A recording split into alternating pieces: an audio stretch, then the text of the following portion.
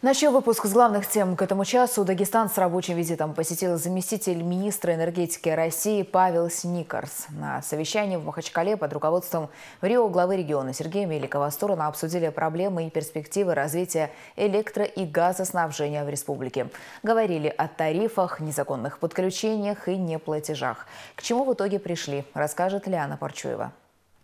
Бесперебойное электро- и газоснабжение способствует экономическому развитию региона. От надежного функционирования энергетической отрасли зависит не только инвестиционный климат, но в первую очередь важен социальный аспект, отметил в Рио главы Дагестана Сергей Меликов, открывая встречу с представителями топливно-энергетических компаний. По поручению президента Российской Федерации Министерством обороны на территории республики в настоящее время осуществляется строительство 73 социальных объектов и до 1 сентября текущего года они должны быть введены в строй. Каждый объект необходимо своевременно подключить к соответствующим ресурсам.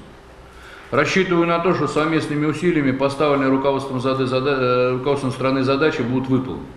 В Рио главы Дагестана подчеркнул, что изменения погоды не должны быть причиной того, что люди зимой остаются без света и отопления в домах. Иногда подобные перебои приводят к плачевным последствиям. А недавно мы имели прецедент с другой трагедией, когда значит, угарным газом задохнулась еще одна семья. если кто-то не отдает отчет себе в том, что это на самом деле проблема, которую надо решать, значит, ну, я считаю, что просто этим людям здесь не место. Сергей Меликов также затронул и вопрос с крупными долгами перед энергетическими компаниями, которые не оплачивают некоторые организации и юридические лица. А ведь эти деньги могли бы направить на улучшение ситуации в отрасли. Заместитель полпреда президента России в СКФО Максим Владимиров, который принимал участие в совещании в режиме ВКС, отметил, необходимо рассмотреть вопросы списания долгов, из-за которых получаются большие суммы. А, уверен, что в ходе сегодняшнего совещания мы, ну, если сказать по-русски, наконец-то повернемся лицом проблеме. Конечно, э, вот э, замечательные слова вы сказали. Я вот готов, как вы сказали, готов как бы, взять организацию на себя и нести за это ответственность. К сожалению, у нас э, советчиков много, а тот, кто несет ответственность и готов это принимать решения, очень мало. Спасибо вам за замечательные слова. О необходимости решать вопрос с источником финансирования, без которых будет невозможно осуществление работ, говорил заместитель министра энергетики России Павел Сниккарс. В этой связи он поднял вопрос тарифов. Основная задача – это урегулировать все вопросы с тарифным регулированием, потому что основа у нас проистекает из экономики, и все-таки хотелось бы правильно сбалансировать экономику.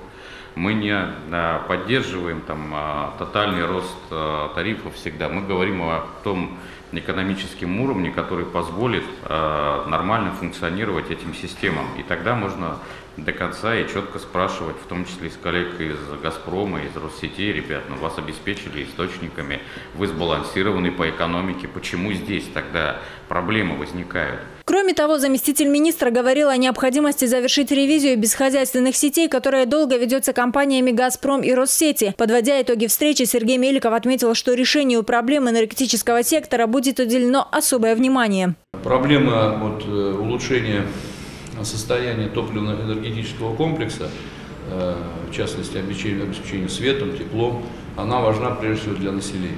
Но в этом отношении не только для населения. Потому что без устойчивого обеспечения э, ресурсами э, мы не можем развивать строительство, мы не можем развивать э, значит, расширение социальной сферы. Собственно говоря, это то, о чем вот, что жизненно необходимо для нас.